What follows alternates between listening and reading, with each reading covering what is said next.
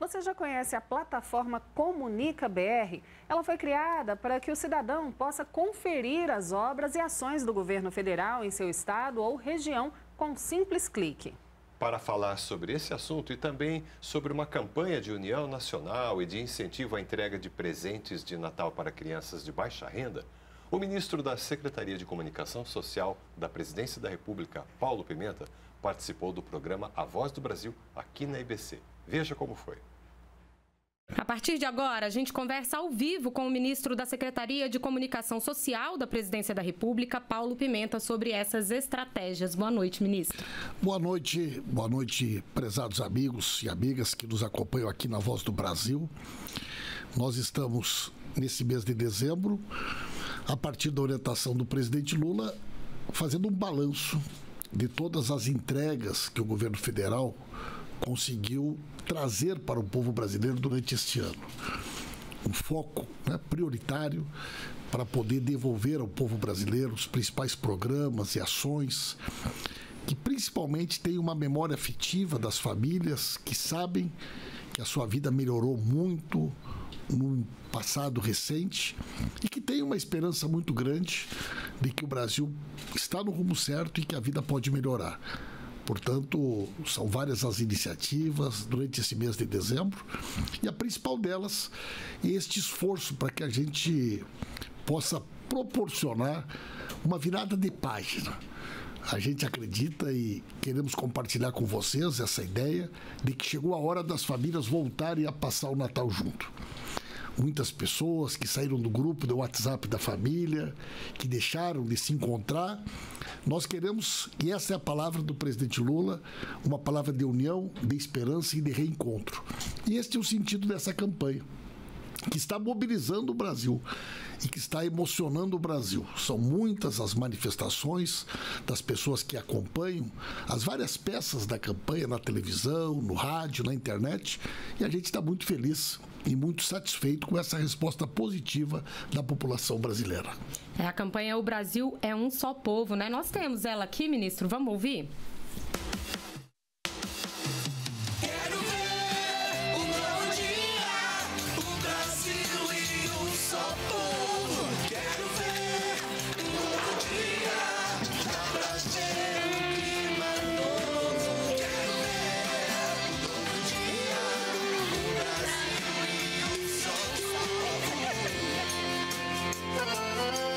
Somos todos filhos, irmãos, parentes, cidadãos de um Brasil gigante que nos quer ver crescendo.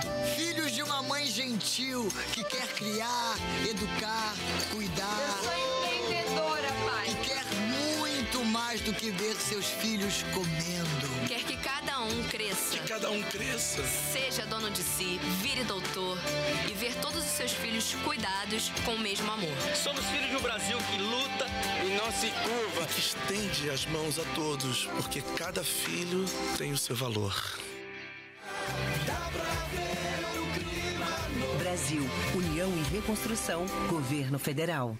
Ministro, como é que tem sido a receptividade do público com essa campanha? Ela tem gerado engajamento? Olha, a gente está muito satisfeito.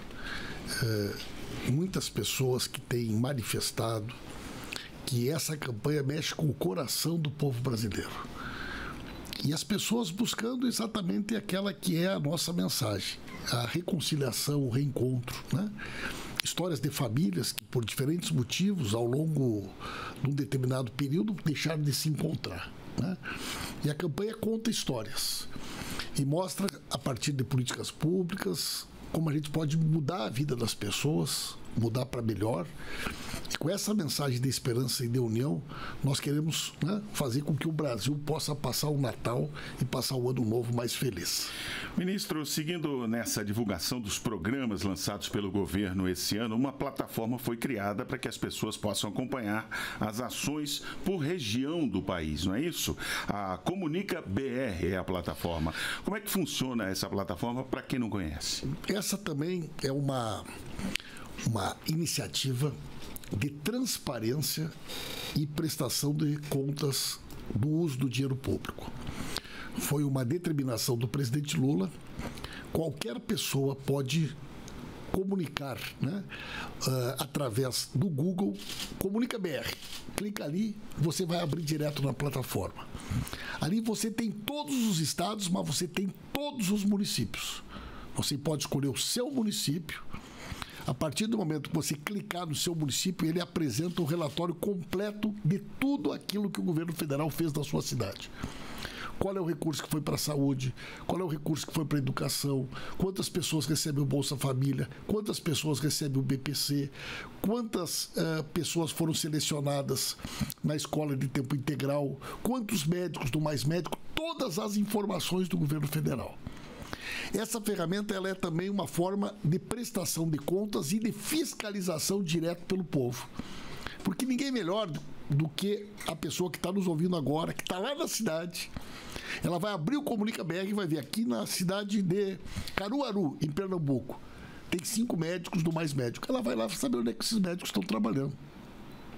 Aqui, né, eh, em Santa Catarina, na cidade de Joinville, tantas uh, vagas das escolas de tempo integral. Quero saber qual é a escola que vai funcionar, onde é que essas vagas vão estar à disposição. Então é ao mesmo tempo uma ação de prestação de serviços, mas uma ferramenta de fiscalização. Ninguém melhor do que o cidadão, a cidadã, que o brasileiro, que a brasileira que está lá na cidade para fiscalizar e garantir que o dinheiro público tenha de fato a melhor utilização. Pois é, eu ia justamente perguntar para o senhor se essa é a melhor forma mesmo da sociedade acompanhar as ações de governo, né? Porque foram 50 mil visualizações nos primeiros 10 dias da plataforma. Já é o site mais visitado do governo federal esse ano. Né? E nós ainda estamos numa fase inicial de divulgação, mas nós queremos que ele seja uma ferramenta, né? que as rádios do Brasil inteiro, que os radialistas, que as radialistas possam chegar de manhã e abrir, vamos ver o que, que tem aqui para o nosso município. Quanto veio de recurso esse mês? Quantas pessoas recebem o BPC? Como que está a situação dos investimentos em rodovias federais? Você tem relatório por cidade, você tem relatório por estado, você tem relatório nacional. E é um, um, um site muito bem bolado, porque ele é muito fácil o manuseio. Você clica em cima da informação, ela gera um card direto. E você pode mandar pelo WhatsApp, inclusive para o grupo da família. Então, se o pessoal diz, olha, quantos médicos tem aqui na nossa cidade? Entra ali, clica em cima, manda para o grupo da família. Tem programa uh, Brasil Sorridente, que é o programa de saúde bucal na nossa cidade. Entra lá, localiza, vai na prefeitura. Onde é que estão funcionando as equipes aqui, né, do, do programa Brasil Sorridente? Então, todas as ações da educação, da saúde, da assistência social estão disponíveis e qualquer pessoa, você que está nos ouvindo agora, clica aí no Google Comunica BR e com certeza você vai ter acesso a essa plataforma. Ministro, estamos às vésperas do Natal e um dos projetos mais emblemáticos relacionados a essa data é o Papai Noel dos Correios, né? Em alguns estados, inclusive, ainda dá tempo das pessoas fazerem doação para serem entregues às crianças os presentinhos. Mas já é possível fazer um balanço da campanha esse ano? Como é que foi a adesão? Eu falei agora há poucos minutos com o Fabiano, presidente dos Correios. Nós vamos bater todos os recordes. E quero aqui agradecer aos milhares de brasileiros e brasileiras que se sensibilizaram com essa iniciativa dos Correios já há 34 anos e que agora foi abraçada pelo governo federal. Foram 270 mil cartas, recorde de todas as campanhas. Mas a melhor notícia: 210 mil cartas. Os brasileiros e brasileiras foram diretamente na agência e alguém adotou essa cartinha e garantiu que o presente chega a essa criança. E 60 mil cartas foram iniciativas corporativas de grupos de trabalhadores, de empresas. Portanto, pela primeira vez, 100% das crianças serão atendidas na sua cartinha para o Papai Noel.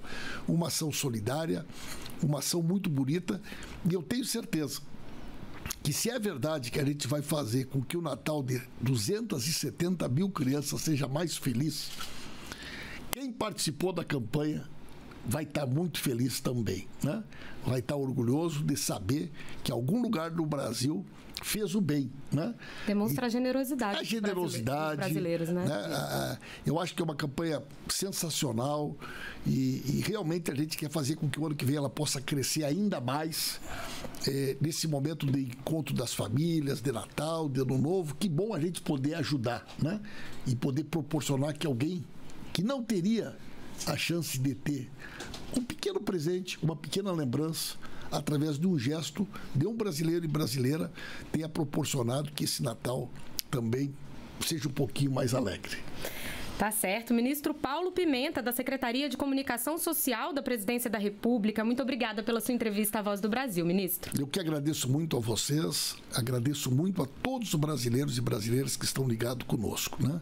Desejo a todos e todas né, um Feliz Natal, um próspero Ano Novo. O Brasil está no rumo certo. A gente plantou muito em 2023. E 2024 será o ano da colheita o ano em que, de fato, as mudanças serão muito mais sentidas e a vida do povo brasileiro vai mudar de forma muito mais substancial. Muito obrigado, ministro. Até a próxima.